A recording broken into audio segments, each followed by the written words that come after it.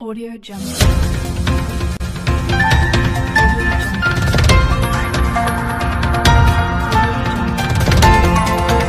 Mobile चोरीच्या गुन्ह्यामध्ये मदत करतो म्हणून सहा हजारांची लाच मागणाऱ्या पोलिसाला लाचलुचपत प्रतिबंधक विभागाच्या अधिकाऱ्यांनी सोमवारी रात्री उशिरा अटक केली अटक केलेल्या पोलीस कर्मचाऱ्याचे नाव बापू उत्तम झोळ आहे पंढरपूर शहर पोलीस ठाणेमध्ये तक्रारदाराच्या मुलाविरुद्ध मोबाईल चोरीचा गुन्हा दाखल होता.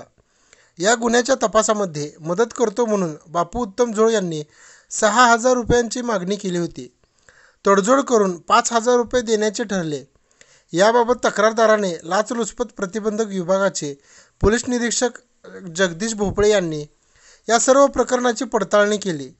त्यामुळे पोलीस हेड कॉन्स्टेबल बापू उत्तम झोळ यांनी लाचलुचपत प्रतिबंधक विभागाच्या पंचांच्या समोर लाचेची मागणी केली. त्यामुळे पंढरपूर शहर पोलीस ठाण्यामध्ये बापू जोड यांच्याविरुद्ध गुन्हा दाखल करून रात्री उशिरा त्यांना अटक करण्यात आली.